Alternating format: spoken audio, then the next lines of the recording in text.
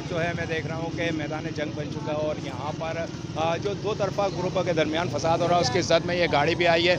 पथराव हुआ है इस गाड़ी पर, पथराव होने की वजह से देख सकते हैं कि यहाँ पर जो ये गाड़ी में सवार थे, गाड़ी चलाए थे, इनका हाथ भी ज़ख्मी हुआ है इनके हाथ में भी ये ज़ख्म आए हैं। तो ये सूरत हाल है कि शहरी यहाँ पर कराची के अंदर महफूज नज़र नहीं आ रहे हैं, सफ़र कर रहे हैं, अपने घरों को जाना चाहते हैं मंजिल मकसूद पर जाना चाहते हैं। कम अज़ कम जो है, इन पर, इन शहरीों पर जो होने वाले जुल्म से किस तरह जो है निजात दिलाई जाएगी? इनकी अपनी गाड़ी तबाह हो गई है पथराव इन पर किया गया इन पर क्या क्या कसूर था?